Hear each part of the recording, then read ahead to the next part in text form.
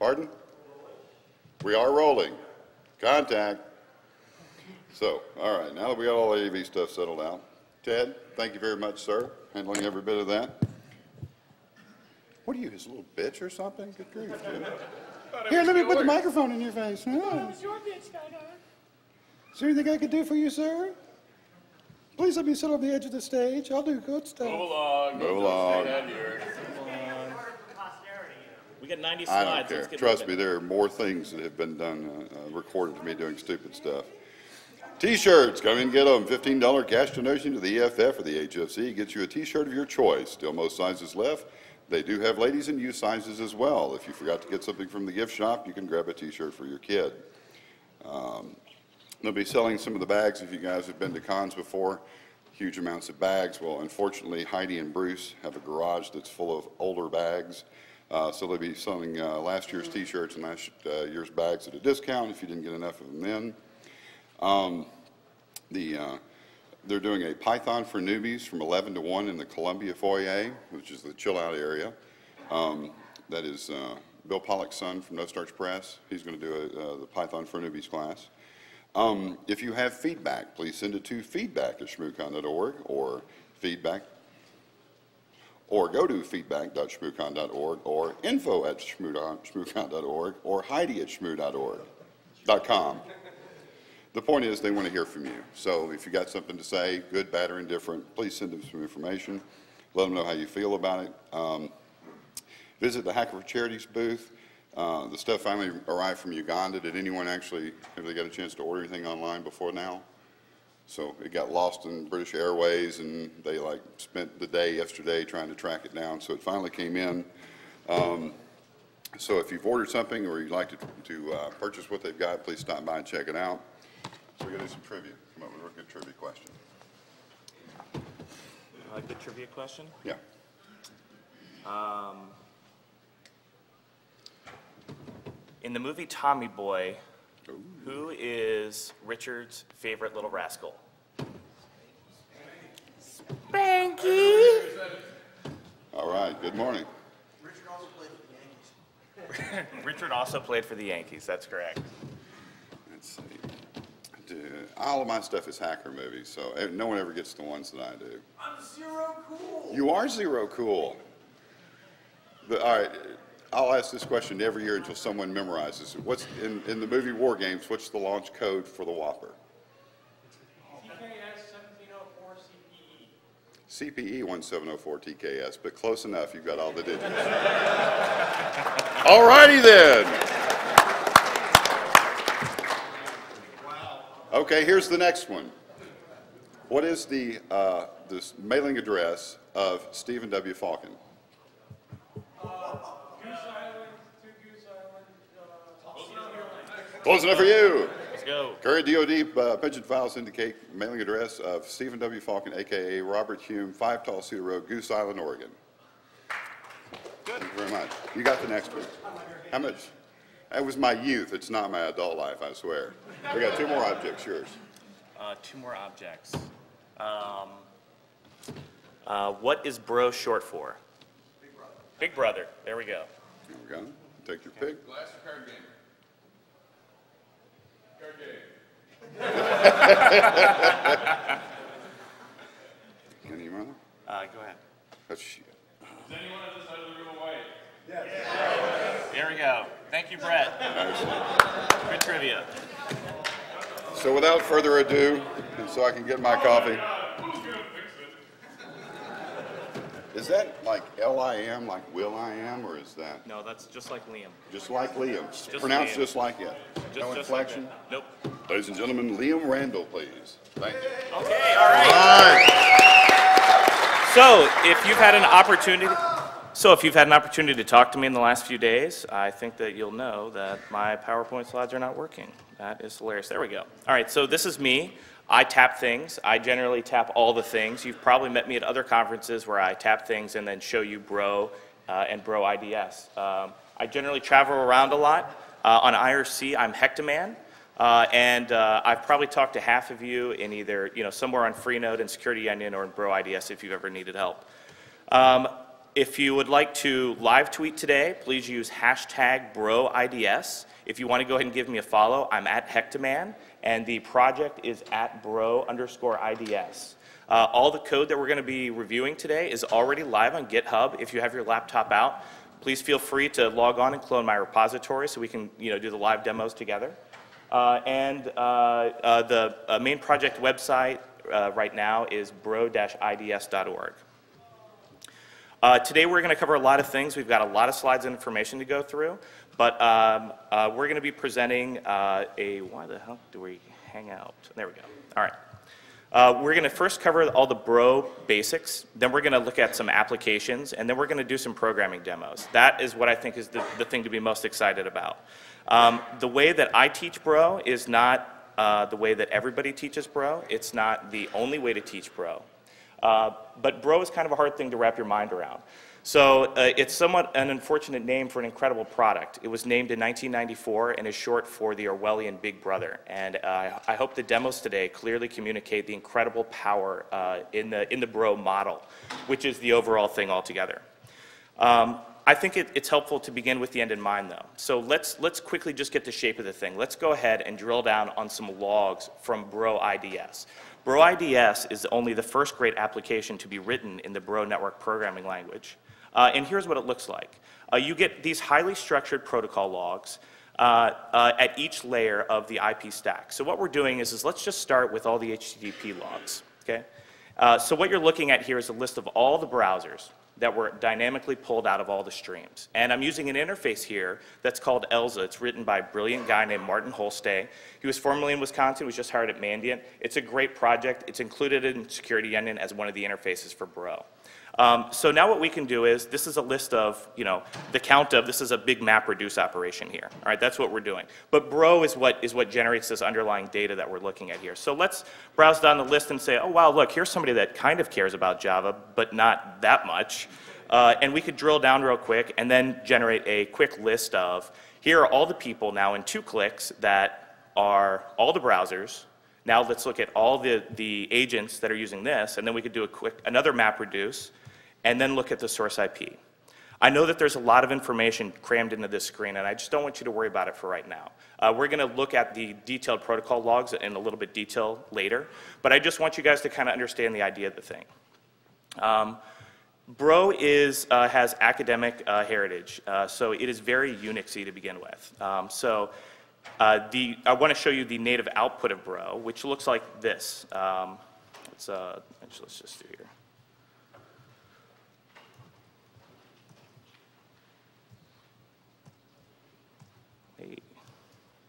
Okay? So if, if you look at that, these, these are just highly structured logs. So these are similar to any of the other logs that you typically see in a Unix system. Uh, and they're very, you know, sed, awk, grep friendly. Um, they're very easy to do things from the command line. Like here, here is a, a quick command that's going to take the notice log, which we're going to cover. We're going to go into this in more detail. I'm just trying to give you the, the end in mind. This is what we're looking at. Uh, uh, the notice log, we just did a quick group by sort unique on all the alerts. So, so if you look at some of these alerts on screen, what you're seeing are notifications that H, there were downloads in the HTTP stream. And more importantly, that some of them were applications. And that some of those applications, the SHA-1 that Bro generates for you dynamically on the fly, matched the Team Cymru malware hash registry. This, all of this comes out of the box in Bro IDS. So later, as you hear me talking about programming, just realize that the first thing that Bro is, is it's a, uh, it's a programming language. Uh, and the Bro model is very important. But out of the box, you get this great thing called Bro IDS. Um, whoops. Let's to go back to the presentation. Okay. So there are plenty of, plenty of different interfaces for Bro. Um, there, I've done Bro deployments with Splunk, with ArcSight. Uh, there is a native project that we're working on with our Elasticsearch writer that's called Brownian. Elsa is the one I just demonstrated, and it's free in Security Onion. Uh, so don't focus on how I'm accessing all this information today, because I'm going to show you a lot of different ways to do it. Keep in mind the underlying uh, tool set. Uh, when you think about all the tools that we currently use in NSM, uh, there's, there's, there's generally a whole list of them. We have things like TCP dump, which is, you know, all of our big data. We want to capture all the things. And then we have Wireshark, so we can decode all the protocols and, you know, drill down in and see that, oh, well, what is the user agent string in an HTTP stream? Uh, we have Argus, which is, you know, a, a, a connection record. It's who talked to who, who when did they talk, how much data, what ports were they on, those sorts of things. And then you'll have some, some you know, Snort Suricata. This will be your alert data. You know, you're going to download signatures and rules. Uh, and then you'll tie it all together, more importantly, with Python. Uh, or Perl or some other uh, scripting programming language. The neat thing about Bro is the Bro model is actually all of these tools all rolled into one. And I think it's easiest to think of Bro uh, not just as uh, this big amorphous blob, but my way of understanding it, I think the easiest way to explain it is to explain it as three different things. Out of the box, we have Bro IDS, the first great application written in the Bro network programming language. And this whole event-based model of programming that we're going to discuss today is called the Bro model. And what that is, is if you think about what would I want to know when I'm uh, programming in a GUI? Well, I, I would want to know if you click on something, if you click on all the shit, then I would want to get an event. Uh, and what Bro does is every time there's a new TCP stream uh, or a new UDP stream or a new DNS request, you know, an event fires up into the air and you can attach onto that. And we're going to go over this in detail. I'm, I'm just trying to, you know, think about this is the journey that we're going to go on over the next 45 minutes together. Uh, and whenever you see these little uh, Twitter tags, that might be a great thing to put out on Twitter if any of you guys are doing that. Just a minor suggestion, you know, I've, I've got a couple key phrases, and if you guys want to help echo that out through the Twitter sphere or whatever we call that thing, that would be wonderful. Uh, so subtle uh, hint there. Uh, so let's start at the top. Let's start with the first grade application because it's easy to see what a language can do when you look at the tools you can develop with it. You know, um, Bro is a big thing. And, and let's, let's think about where we put our bro sensors here. So what, what you're kind of looking at here, I kind of divide the world into my two different kinds of clients. I have my corporate clients that lock all the things, right? You know, everything's locked down. You own the network. You can really, you can really, um, you know, restrict everything. Everybody's in Active Directory. You've got group policy. You've got all these things. You've only got limited exposure to the internet. On the complete other side of the continuum and spectrum here, you've got all these open access networks. Think like universities, research uh, and education facilities, uh, ISPs. Uh, these, these places over in the open access area are the traditional home of Bro because Bro is developed at, uh, at Berkeley. Uh, it's, it's continuing team, the core team, is homed at the International Computer Science Institute, Berkeley, and the National Center for Supercomputing Applications. So this is, this is a product that is developed by serious computer scientists. So that is why when, when you talk to some of the core team, they'll tell you about, uh, when you ask them what is Bro, and you, they'll say, well, we're working on putting Bloom filters into Bro, which are a way to uh, rapidly access and query large amounts of information. And, but I don't really think that that helps to explain what Bro is. So I think it's easiest to look at the things we can do with Bro and to explain it by example and demonstration. So Bro's big deployment model has been in open access. In 2011, uh, uh, was a big year for Bro. It's because when Bro 2, 2.0 came out, Bro is now really easy to build, very portable. There's a Jenkins server. The documentation is up to spec. It was incorporated right into Security Onion. So now there are Bro deployments all over the place. And there are even a bunch of magic boxes that are sold as Network Mojo, and really it's just a, a crippled Bro appliance. Uh, it's crippled because I really feel like the magic of Bro is in this amazing community that I would like to show you guys some of the things that we're doing in the community so that we can bring more of you into it. Um, so let's look at what these taps do. Okay, so you, you, have, you have a line, and you can put Bro at multiple places in your network, but people usually start at the border. Uh, so you have a line, and we just take a feed. It could be a span port, uh, although generally I, I'm a big fan of hard taps. I think that you get much better quality, you have less problems, and so forth.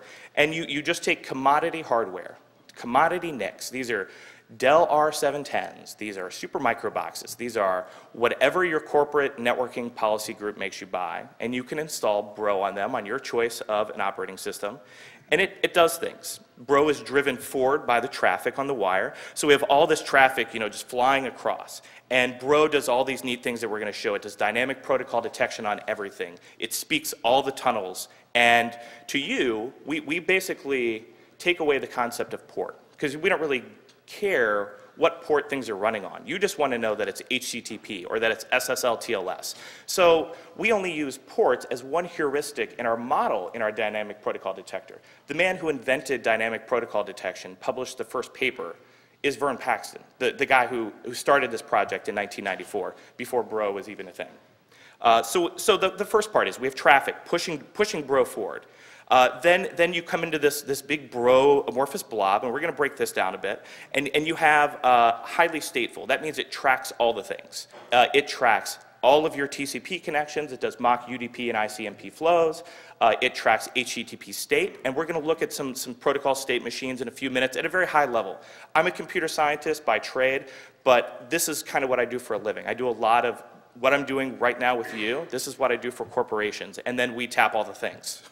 Uh, and, and there's all of these analysis frameworks. Frameworks are just a nice way, or a bro language way of saying a library. Okay, you know, think of bro as like a domain-specific Python. Uh, uh, it's, not, it's not Python, but it's, an, it's a, a, programming language that's specifically designed for network programming. Uh, so, and then Bro does stuff. It does three things. It does um, like an archive of uh, what is on your network through detailed protocol logs at every layer. It does alerts, which would be something where you, you could think of like, this is, these are things that we've detected that you might want to know about, like a heuristically detected series of SSH logon failures. Or that somebody just downloaded an executable, and when they did, the server said it was the MIME type was going to be an application, you know, it was going to be a JPEG. You know, those are things that we, we drop out into the notice log. Uh, and then the best thing about Bro is that because it's a Turing-complete programming language, uh, fancy way of saying that you can build anything out of it. Uh, you can do things, and you can do anything you want. Uh, and I'm going to give you some code, and I've already put all this up on GitHub. If you've cloned my repository back there, you could be playing with that right now. So you can detect all these things and do all these things at the protocol level, and then do things with it. And that is a really neat model when you start to think about the kind of Intel and um, you know, active management you can apply to your, to your network. So we're still in the bro IDS part up here, okay? We're in the top of the, top of the triangle. And what we're looking at is first, let's take a look at some of these highly structured logs. First, a quick little, uh, uh, you know, bro note here. Um, in, in bro, there's, we, there is no client and no server. Uh, that model doesn't really make sense. Those terms are not appropriate. And, and I think the, the, so you, when you start to look through bro, you'll see ORIG and RESP, which is just short for originator and responder. And it really makes sense when you start to dig deep into protocols and think about what's actually happening on the wire level. Does that make sense?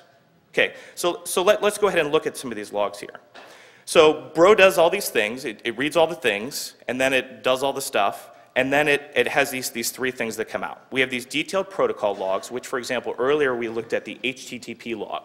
There's a DNS log, and there's an SSL log, there is an FTP log, and these logs are very, very highly correlated. For example, in the FTP log, as Bro tracks the state, it, it follows. If you issue a CD command, the Bro FTP analyzer will follow it. So then when it writes that one log line out for you, it's taken the two FTP channels, reassembled them, and also even prints the URL with the appropriate path. Even if you went in and changed all the way down the directories and all the way back up the directories, then back down again, it follows it and keeps the state of it. That is really neat when, you, when it just works like that. You know, you don't have to worry about how it does all that. It just does it. Um, alerts would be those things like the notice log, and we're going to look at these things in more. This, these are just the three types of things, and then actions, as I've already mentioned. Uh, they could be protocol-specific actions. They could be actions on the data. Bro grabs an MD5 hash of all the files as they're going across, so, so you can look at some of the Intel examples that are already integrated, or you could imagine your own, like, well, if I get the application, why don't I just send it right to Cuckoo Box and see what it does? That, that'd be neat to do, or why don't I JS unpack all the things? Because I can. I mean, these are the things that we're playing with in Bro. And, and, and, when I start to show you the examples, like today, I don't know if you caught it on Twitter, but I'm going to drop a Lucky 13 SSL detector. Because right now, we're all just hanging with our butts out in the wind because none of our programs are going to be patched until, you know, May, depending on what you're using. You know, there's, there's, a, there's a big patch schedule there. And to detect that attack in Bro is trivial absolutely trivial. And, and we're going to do that together. And actually, everyone who does uh, tweet today's talk can be a co-author on it when we release it today. We'll actually push it to GitHub together. So if that isn't a little incentive to maybe follow uh, bro underscore IDS or at Hectaman and just give me a little shout, I don't know what is. You know, we're going to actually do science. So uh, let's do that. All right? So uh, let's start with one, a detailed protocol log. Okay, so I tried to make this as pretty as possible because, you know, Unixy output is sexy in a way, but it's kind of, it's kind of hard to look at. So I wanted to just sort of lay out kind of easily. So in your bro logs, here's what you get on the, on the protocol logs, because there's two types of logs, remember. All the protocol logs and then notice logs, which are the things. Uh, so you have a timestamp, which is Unixy. Uh, you get a UID, which is unique. So let's say uh, we wanted to, if you look down this list here, over on the right, you see that there's um, uh, the service string down at the back there. Okay, so this, this would be our fourth layer that we're looking at. Let's say we wanted to find, uh, you know, for that HTTP session, the actual underlying TCP stream.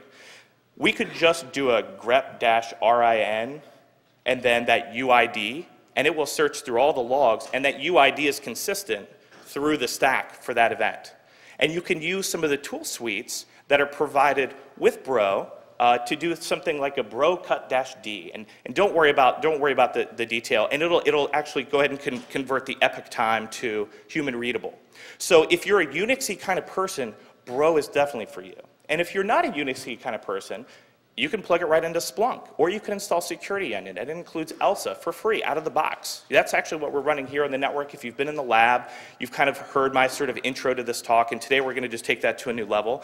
But when I go and tap all the things, I generally just use Security Onion because it installs in five minutes. And it works. And all the tools are all right there that you need to deploy this on your network next week and start to have this stuff uh, on commodity hardware. Uh, so this, this is the other side of, the, of this log here. Uh, so we're, we're kind of continuing off this one long uh, log here. So we kind of do these mock flows, and you, you get, you know, you get all the, all the, all the details here. Uh, an interesting column here is this history column, and we're going to come back to that in a little bit.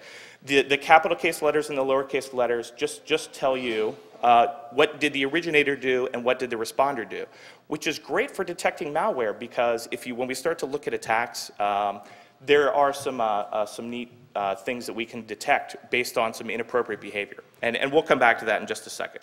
So don't worry about the details there. Here is the other type of log that you get in Bro. You have all the protocol logs, and now this would be a, a, an alert log. So these are notices. These are, these are things where we're basically doing additional heuristics on the data to tell you things that we think you want to know. We have incredible depth and expertise in the, in the SSL TLS space. Uh, and I will, we're going to actually go deep on that in a, in a few minutes here. But we also do things like detect all the software and tell you that, um, hey, because we're reading uh, all of your um, plugins in your browser, I can tell you who's running outdated Java on your network. And I just drop it into a log. Uh, because we have all the data of the sessions, we give you MD5s on everything. And in Bro 2.2, which comes out in a couple months, we're even going to abstract away from the idea of having a protocol or a file associated with a particular protocol. Right now, you get a protocol-specific event that you can attach onto. With the file analysis framework, you can just say, well, I don't care if it's on BitTorrent or HTTP or FTP or wherever it was, you just, you'll get a new file event. And it'll say, hey, we have a new file. Do you really care where it came from? Maybe not, probably not. Send it to JS Unpacked. Send it, do whatever you want with it. Save it, save it out here on, on a directory. In your network now, do you have a folder that has every executable that's come into your network? Does anybody have that now?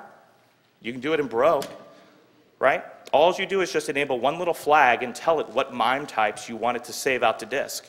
And you can just write them out there. I use it all the time. It is the greatest thing. And you can even start to do really smart things. You could say, hey, when I see a user download Malwarebytes, I might want to open a ticket. because that, that's a derivative value that we can kind of do some intel on. So I have a little query that I run on, on all the, all the self-help sites. So when I see users start to do that, it actually tells me because I know that so-and-so over there, Mr. Smarty Pants, is going to run malware Malwarebytes and it's going to come back clean and he's going to be, whoo, that was a close one. Guess I don't need to call IT. okay, so the, these are the notice logs again here. Again, this is just stretching out this long notice log. I wanted to try to make the letters big so you're not complaining about turn up the text, you know, whatever. Uh, uh, this is the other side. So you can see there's some detailed, detailed data here. Um, And Bro is so huge, and I'm so in love with Bro that I could talk about it all day long. So if you want to continue this discussion later, I'm just going to go over to the lab. But I'm trying to give you a big survey almost of what's in Bro and, and take selectively go deep. So I'm skipping over a lot of things. What about executables that come in on an SSL connection? Right now, we don't see what's going on. Uh, we do not have uh, an SSL uh, decryption library in there. Uh, it fits the model just fine, though, and it's, it's maybe somewhere on the to-do list. I'm sure it will happen eventually. It's something that, that I would like to make a big priority. Um, uh, but right now, that doesn't happen. Um, and then we have the actions. And I'm deliberately being vague here because we're going to do some actions here in a minute. Uh, there's a great documentation page up on the wiki. It also comes included in your Bro install called events.bif. And it's a big listing of all these events you get for all the protocols. Uh, uh, but again, I think that Bro IDS is amazing and it's great and you should install it. But the really things to be excited about are the Bro network programming language and the Bro model. So let's talk a little bit about this Bro network programming language. We were here, and now we're down here. I think I'd actually do that in this slide. There we go. You are here. so it's, uh, uh, the language was developed uh, as an academic research project in 1994 at uh, Berkeley and LBL.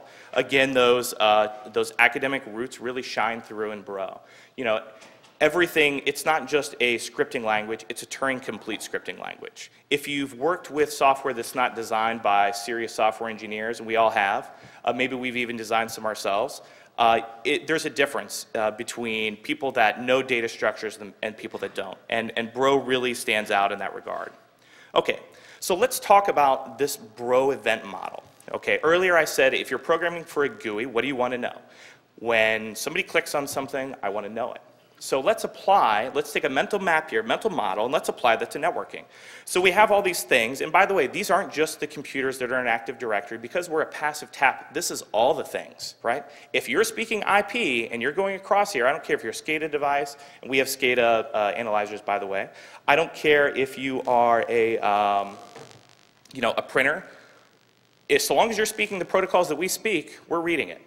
Uh, and I, I, I'm a, uh, I do a great job at showing people new, new ways to learn about their network with these tools. Okay, so we have all these things, and they're, they're shooting traffic across the wire here. Let's look at what happens here.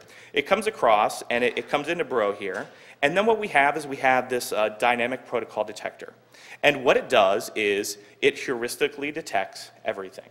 So you, you have these, these, these network events that, that come in here, and here's what would happen. This is going to be in a TCP stream. So the TCP stream, you know, we'd set up and track that connection, and then you would get all these TCP events that fire here. What I have hanging off these little bubbles here, this TCP packet, TCP options, TCP contents, HTTP reply, this stuff, these are sample events that you get into Bro. And we're going to look at events in a second so you can see how, what, the, what these kind of look like.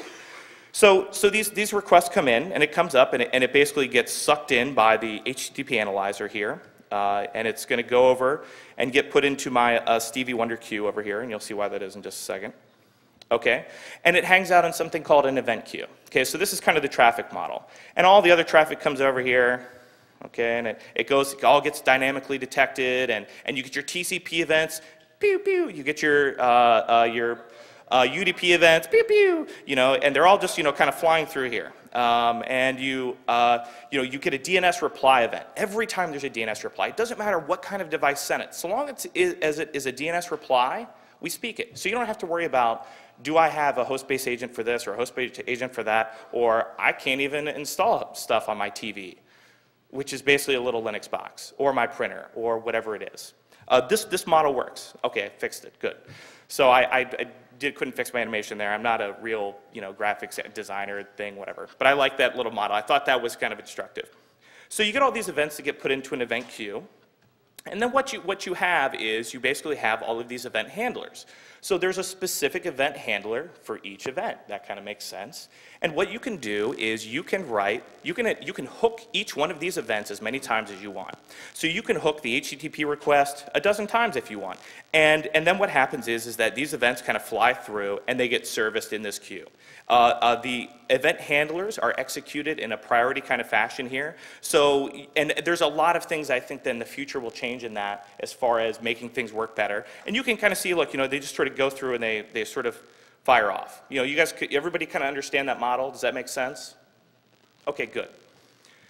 So the, the thing that I really love about Bro is I keep on saying, you know, it reads all the things. So I get to, I am very fortunate and I get to work with some really amazing people. And one of the things that I always love showing people is, is how well Bro reads all the things. This is an actual PCAP that I have from a uh, facility. Um, uh, and here is what Bro does uh, at, at all the layers. I just want to kind of walk you through the Broception. Uh, so we have our Ethernet uh, frames that come in, uh, and they're 802.1q tagged.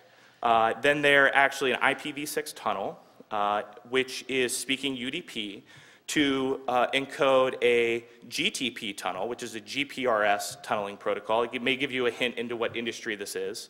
If not, I'm not going to tell you.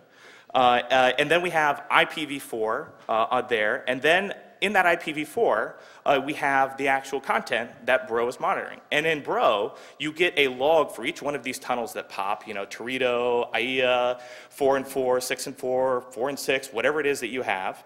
Uh, and then you also still get this, this top of the HTTP event. And I actually have some better ones because a lot of Windows 7 computers will run Teredo. So uh, now on top of what you're just looking at there, add another Teredo tunnel, you know, IPv4, Teredo, and then IPv6. And I have never found another tool that, that can do anything like that. And, and to me, I just care that I'm looking at the HTTP data or the DNS data. I don't want to know how the network is actually provisioned there. I just need to detect all the things so I can do all the stuff. Okay? So, Bro, that is a, a very core competency for Bro, our protocol analyzers. So let's look at what, what do these events look like, okay? You do not need to be a rocket scientist to program in Bro. Bro is very user-friendly. This is designed, this application is designed by the man who, who wrote Flex, which if you've written a compiler yourself, if there's any CS uh, students here, you know what Flex is. Uh, this is the tool that you use to, one of the tools that you use to write other languages. So you will commonly hear that there are all these, these languages within Bro. These are not toy languages. These are serious, like academically sound, you know, Turing complete uh, events. Okay, so let, us look at, let's look at this event here. So let's say we wanted to write, right, this, this is our event. If you look up at the record header there, you don't care where, how this, how this is tunneled, how it gets to you. You just want to know that there is an SSL client hello event, which is at the beginning of an SSL TLS uh, negotiation. Excuse me. So we get this information. We get the connection, which is just a data type with stuff in it. We get the version. We get the possible timestamp, uh, the session ID, and then the ciphers, which is in that initial negotiation phase, you, you kind of exchange a list of ciphers that I support. It's a great way to probe networks because a lot of people support ciphers that they shouldn't, but that's neither here nor there. So if we wanted to write a detector for any SSL TLS questions that are version 2, does somebody want to take a crack at it? What's, what is the programming language going to look like? Just pseudocode it for me. So we have the version, and we want to know if it's 2. What is that statement going to say? If version equals 2, great, you're all programmers. Congratulations, you can pick up your certificate on the way out the door. Okay, so you're right. If we wanted to write an SSL v2 version detector or an SSL v3 version detector, because you shouldn't be using that easier, the code actually just looks like this. If version equals SSL v2. And now you can program. That's it. Okay? So now let's build all the things. So this is a good example. Okay? So let's talk about these families of events here. Okay, so we have, for example, in HTTP, I, this is kind of hard to read, and, and if you can't read it, that's okay. Just know that in HTTP you have you know, like a protocol state machine, you know, and a, and a grammar, which a grammar is just like what are the words of the language, and a state machine is, is when do the words happen. So if for SMTP, for example, if anybody's ever telnetted to an SMTP server, you know that you can't say RCPT2 until you say hello, right? So, so in our state machine, you know, you would have like a little flow chart here, and if you were designing a compiler for this language, you would build this state machine out of regexes and stuff. But all of these bro events, because it's all stateful, all fire in order and in a predictable order. So for every HTTP request, does somebody want to guess what event you fire? H here, come get a come get a jar here. Uh, you get an HTTP request event, and then you can do whatever you want. Uh, uh, so uh, what, what I've basically done is, is to help you program faster, I'm releasing these things called the fire scripts today. And what they are is I'm basically grouping together all the protocol-specific events. So let's say you want to look at a HTTP brute forcing or uh, domain generation algorithms or whatever it is you want to look at. You take your PCAP and you replay it with, with, with my uh, fire scripts here, and it just, you, there's, a, there's, a, there's an order of them. First, I'll show you all the events that fire in order. So when you see that on screen, it goes, okay, and we're going to do that in just a second, maybe without sound effects, because that was kind of bad. Uh, and then another one is just the sum total. Like, let's look at the count of each event, right? So let's, let's do a quick example here so I can just show you what I'm talking about. Okay, so let's clear out a. Bigger? That's what she said. Credits, credits Zach. You can come grab one up here. Here.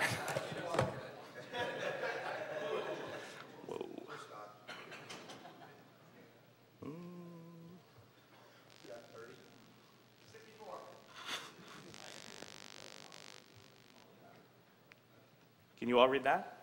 I also suggest you get an eye check.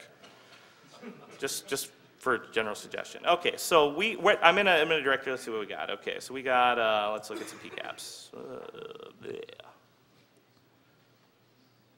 Hmm. Oh, no, I'm sorry, I'm not there. Oh, this is where I want to be. Okay, so we, we've got some PCAPs here of stuff, and we don't know what this stuff is. Um, so let's, um, let's, just, let's just look at them with some fire scripts. You know, we want to just kind of get the shape of the thing. It's, this is a, an exploit or traffic or something like that. So from the command line, you can just do a, a bro dash c dash r, which is read it in, and then the name of the PCAP that you want. Okay, and then I'm going to just like do this nasty thing to get out to where I've got my fire scripts copied down here. I think I've got them out here somewhere. I don't know what layer of the inception network I'm at. Okay. And you've got all of these different um, events. So here is a little file that's going to uh, just show you all of the SSL TLS events as they fire. Uh, and I'm running a lot of stuff on my VM here. So that is the order that those events happen. And that's all the SSL events in that PCAP. And if we did a bigger PCAP, it would just go all the way down the page okay? And so now you know that you're looking at traffic. This is actually a, a good traffic sample. And we'll look at some bad traffic samples in a minute. And you can kind of see that even with simple, stupid metrics like show me the sum of the thing, the count of the thing, that stuff like HTTP brute forcing is like 5,000 standard deviations outside of normal right? And it's so easy to write a detector for these things. And, and I hope that you're going to see this and be like, wow, I could totally program. I mean, and I could make a difference doing it. And I'd like you guys to hop on Git, clone a repository, follow me on Twitter, tweet about this event, help me spread the message of bro. So let's go back to our presentation. Uh, actually, here, let's do another one. Let's look at the count of the things. Oh, not bro, dot bro.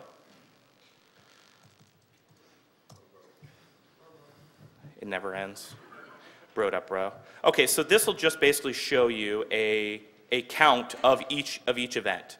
Okay, so th these are the fire scripts. They're up on GitHub. Uh, go ahead. So we know that there was one SSL client, hello, and there was one uh, X509 certificate exchange, and there was one SSL uh, session established. Okay, that, that sounds like that's, that's normal, and that is, that is normal. But those are, those are what events look like. So let's think about the things that we can then do with Bro.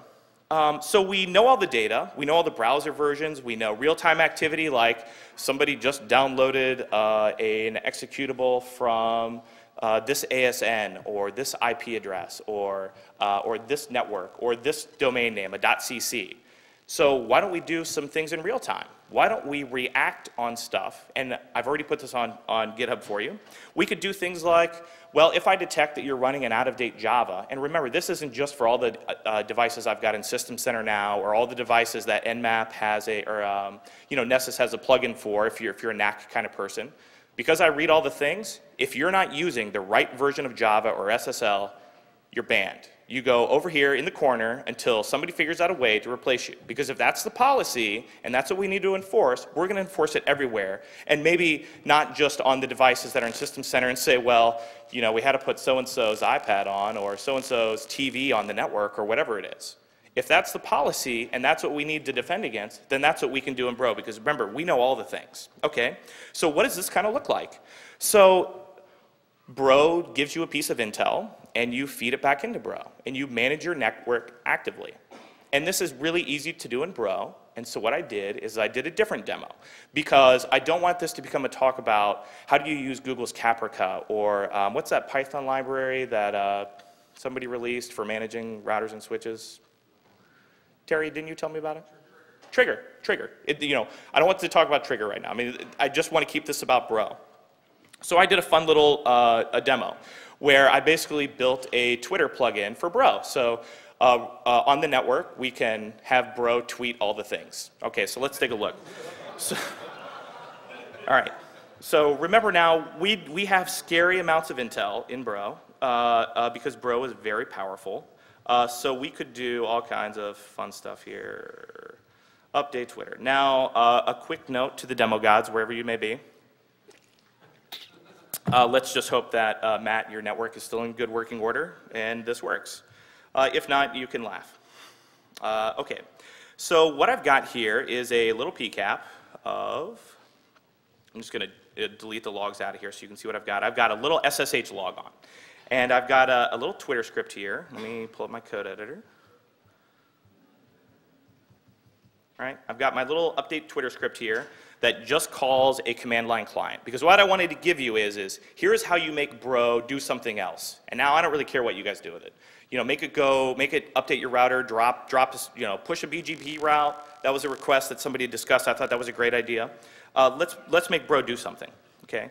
So we're just gonna do our, we're gonna tell bro to manually read this from the command line. Uh, and here's our there, and we're gonna go ahead and call my little update Twitter script. Oh, wait, you know what? That's not going to work. Hold on.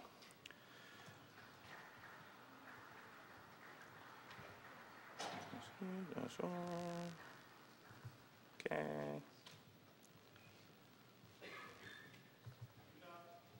Thank you. Dot bro. Okay. So let's see if bro tweets.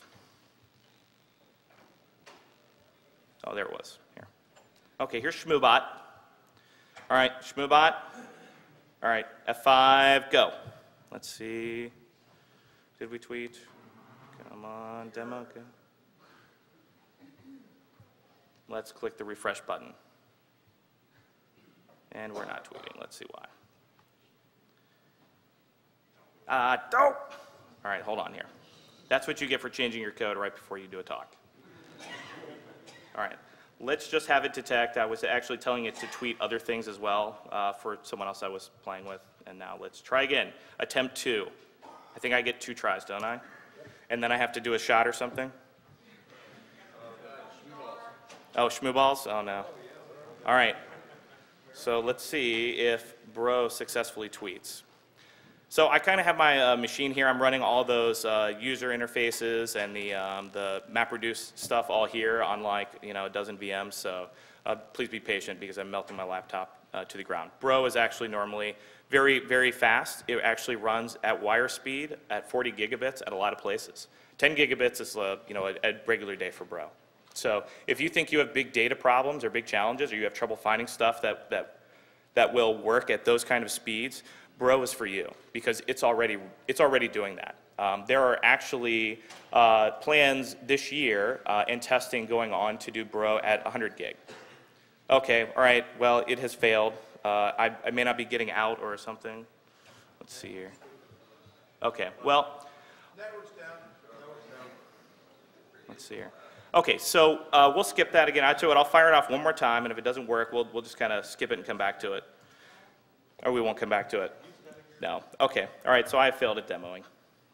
It works though. You can see on the update Twitter bot. Come in the lab and I'll see what's wrong there later. Okay. Did that one work?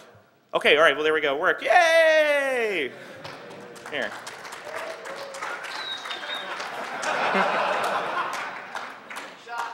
There we go, 19 seconds ago. All right, it did work. So I just have some weird error message coming out the screen now. Okay, so Bro knows all the things, it does all the stuff. Okay, so let's talk about Intel. So uh, everybody has Intel. We've open source Intel. We have, uh, if you're a special person, maybe you get special Intel, maybe generate your own. Bro can suck all this in. And the great thing about Bro is that it's not just going to test it on HTTP or SMTP. You can have Bro test all the Intel at all the places.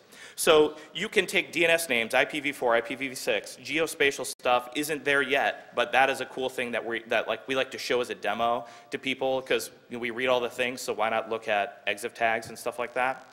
Uh, hashes. Um, uh, implementations that we already have are this SSL notary and the Team Cymru database. Here's how it works. You have all the intel, it comes in. There's an interesting project that, you, that are used by some bro communities called the Collective Intelligence Framework. It's open source, it's sponsored by REN-ISAC. It is basically like a big intelligence management platform. Uh, it includes out of the box, it'll suck in all these open source feeds. Uh, it's managed by a guy named Wes Young. Come join us at uh, uh, uh channel uh, CIF over on Freenode.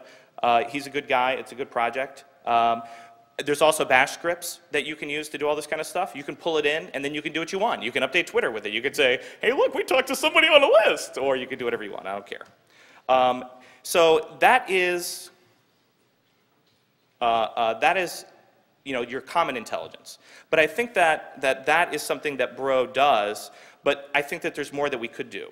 Because for every signature hacking away at the leaves of evil, there is a greater heuristic striking at its root. Okay? So this is the difference between managing a list of people that do you know, SSH brute forcing and a simple heuristic in Bro to say that if you have more than five SSH logon failures in a row, you're out of here. You know, heuristic, signature. I don't want to get into the whole argument about what's a signature, what's not, but generally I want you to understand that Bro can do regular signatures like your traditional IDS products just fine. But Bro's real magic is in doing all these other things. And Bro out of the Bro IDS, the first great application written in the Bro networking programming language, tweet, uh, is another thing that you, you kind of get there. So I called that Liam's lie. I went back and forth on that. I don't know. We'll see if that, if that sticks or not. Uh, so file extraction. Uh, over on the right, that's what the configuration looks like to have it have Bro save all your FTP stuff to disk. And I'll put up a blog post about this and uh, do a video to walk you through, okay, I installed Security Onion, now what do I do to, to do all the stuff that Liam was talking about? And I'll walk, I'll walk you through this. Um, but because you get all the files, you can start to do things like lookups to Team Cymru. You can do active analysis. I, I kind of try to think of this as the Christmas story of Bro, the Bromas story, if you will. This is the past, the present, the future, and the things that may be. Okay? So in the past, we have all of our intel that we already know. We have our signature analysis. We have Team Cymru, we've got intel comparisons, then we have the present. This is active analysis why don't we take every executable and put it in Cuckoo Box or put it in JS Unpack, the present, okay?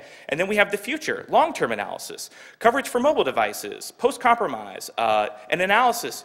Where's your, where's your directory of every executable in your company?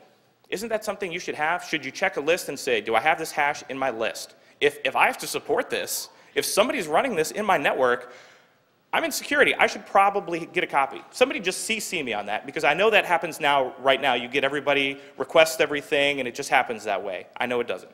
Um, and then predicate analysis. I gave my example earlier about every time I see somebody, I have a little custom script. Anytime I see somebody download Malwarebytes, I get an email. I want to know that somebody's telling me that I'm in trouble, help me. Because Malwarebytes is probably going to come back clean on a lot of this stuff. And that is a useful, that's a derivative intel value that you're losing. I should, that would be another great thing to tweet. I should have put, should have done that. Derivative values in Bro or something like that. This is my favorite topic, okay? Uh, uh, not, not just my favorite topic, but I think this is a wonderful use case and example for Bro. Um, what we've got here are all these incredible SSL TLS events. And remember, I could pick any of the protocol analyzers and talk you through things we could do. I picked this one for a reason. A couple of reasons, actually. Everybody knows that SSL is broken. We don't need to talk about all the examples. Uh, there are 651 organizations that can sign all the things, and 52 of them are under direct control of governments. And those governments are not all friendly. Uh, and uh, some of us may have PCAPs of thing, people doing things that they probably shouldn't. Maybe you, maybe you see that. Maybe you work in those environments where that's a concern. Well, in Bro, you can do things like sign all the certs, you know, sign them all back to root. Since seven or eight uh, CAs actually control, you know, 99.9% of all the market, wouldn't you really want to know if I see any CA that's from anybody but those? This is, this is an if statement in Bro, right? This is a simple if. This is a case statement. Uh, I, I, will I'll, do, I'll put that demo out up on, uh, up on GitHub for you, because I think that's a good one. Because remember, the CAs are not the final target. You are, or your friends are, or your clients are, is what I suspect. NIST is jumping on board, and they're warning that every, like CA is, is completely done, we're toast, you're all screwed. If you read these advisories, sometimes I feel like I'm the only one that does. Uh, uh, we're in big trouble. Here is an example. Which one of these do you trust? Somebody guess. The one on the right, and I think you guessed correctly. No, you fail, but you can still have a cherry. You can still have one. Come on up and grab one, please. Uh, uh, there are also all these other known attacks. You have all these devices uh, uh, there's this great project that has all of this like SSL best practices. And I should make that into a bro script. So you can just run it and say like, this is bad, this is bad. But there are certs that you shouldn't use. There are all these things that we should be controlling against. And there are people that recognize this. Marlon Moxie Spike, he has his uh, whole convergence. Uh, Carnegie Mellon has a project certificate. And what's the big problem with all these? They leave out the, a huge percentage of the market because they're only addressing the issue in browsers. When you look at where, when you run Bro and you look at your SSL log, you're like, SSL's used all these places? Like, our VPN is SSL TLS? I didn't know that. You know, it, maybe you did, maybe you didn't.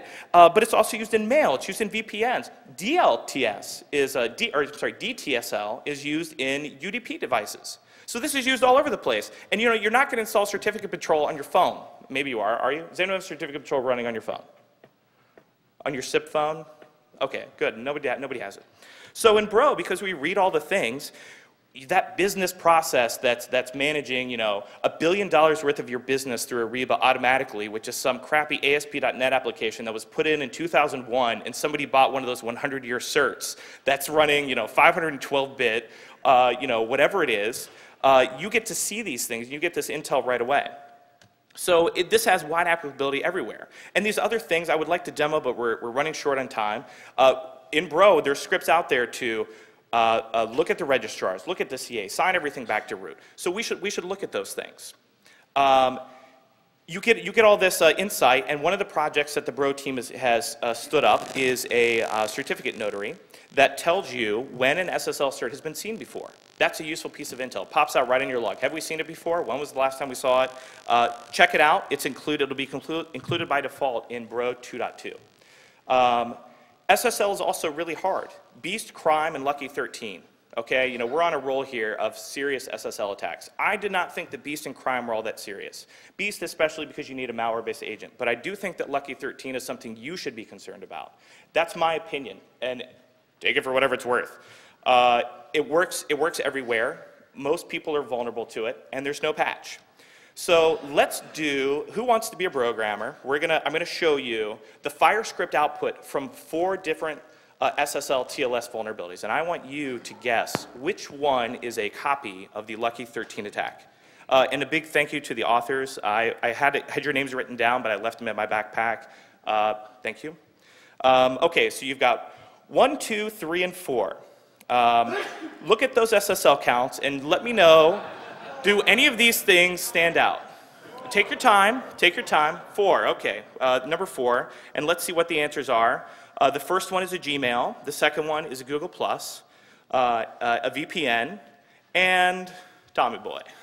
because I'm not, in Bro, it's really, it's just like, it's not really over here. It's not down here. It's right here is where the problem is, right? These simple metrics, and this is not like, you know, doing the standard deviation or complex flow analysis. Just looking at these things works. So up on Git, uh, I just posted, uh, well, I will post. I wanted to do it live right now, do a, a Git commit, but we're running short on time. Uh, I wrote a little detect lucky 13 threshold detector. And the first heuristic is when you're looking at that traffic is, and this is like 25 lines of bro code. The first heuristic is, and this is by the way the first time anywhere in the planet that anyone's doing that. So I, I'm protecting you guys for the next three months until you get all your patches installed on all your SCADA devices that I'm sure you're going to get a new firmware for. Right. Yeah. Uh, so um, it's, it's out there. Uh, take a look at it, and um, we can have a good time. Uh, I'm at Hectaman on uh, Twitter, uh, bro underscore IDS. I do have a couple more slides. We can try to just jam through these. You know, take those simple metrics and think about things like brute forcing, HTTP. It stands out like a sore thumb. You can just, just monitoring status codes gives me all kind of great intel. 500 counts for my servers, uh, overloaded, maybe configuration problem. High 404s could be distributed scanning, could be a direct DirBuster attack. It stands out. So let's, so in the next year, we're going to start weaponizing all this intel. This simple intel, like a simple script that is count this thing and then do that thing, right? We can all do that. It's really easy. I look forward to uh, joining, seeing you guys on the mailing list up on IRC uh, and uh, up on Twitter. Uh, so we have some time. So maybe a minute or two left for questions. Okay, let's go ahead. Go ahead.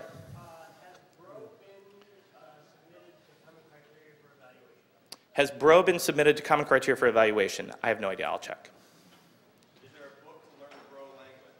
There is a book coming out to learn part of the Bro language that'll be out this summer uh, called Applied NSM. Uh, uh, me and Chris Sanders and uh, Jason Smith. Um, there, but more incredibly, the documentation is very complete online, and I'm going to be doing a series of blog posts to help you guys get into programming.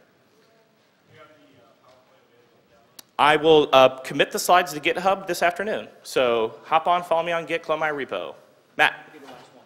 Last one. Take someone else. Go ahead in the back. Cool story, bro. All right, good ending. Thank you.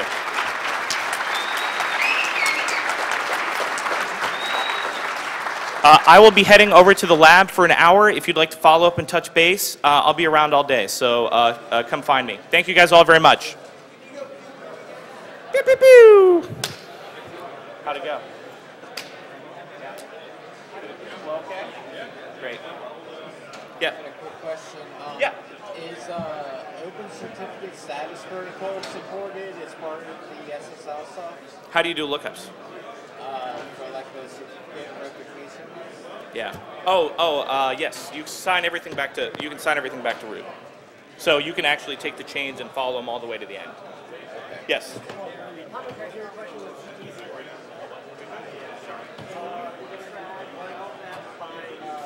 We speak Microsoft DNS. Not Microsoft DNS. I'm talking, uh, uh, ISO lines, where you've got a thousand lines, a thousand information, and they're all doing different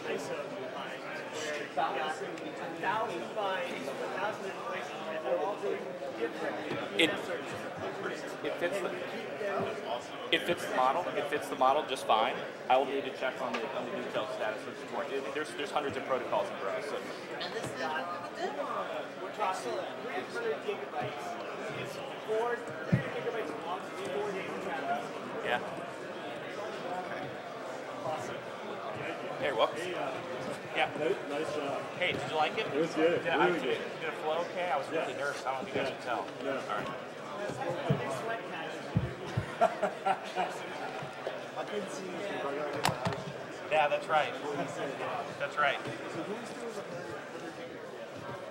Uh, I, I don't want to say. Oh,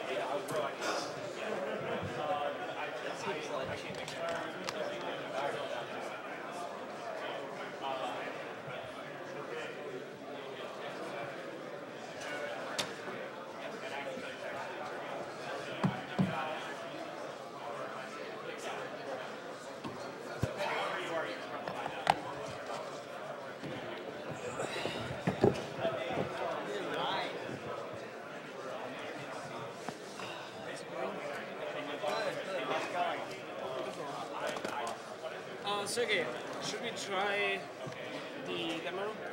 Um, sure.